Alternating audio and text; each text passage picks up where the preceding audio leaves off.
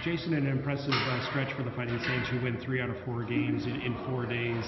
You know, I know it's just preseason, but uh, it didn't look like that was the fourth game in four days. It looked like the guys were giving everything they had.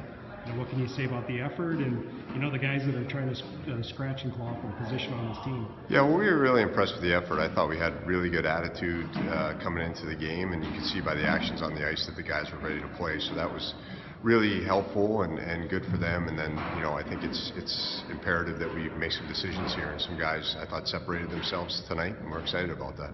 It's uh, a lot of times at this point in the season, it's real clear that you have guys that you know, that, that are going to make it and guys that are not going to make it.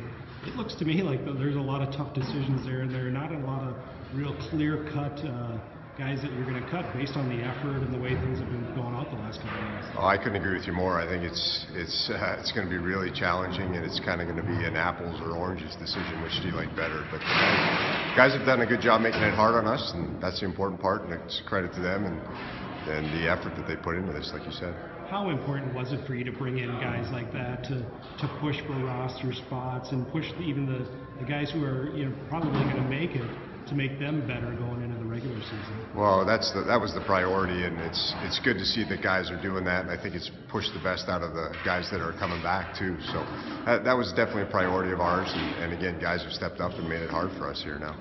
You almost never see a shutout in the preseason either. I mean, there's so many. You see mistakes and you see you know breakdowns that end up in the back of the net. Uh, how impressive is it to see a shutout in a preseason game?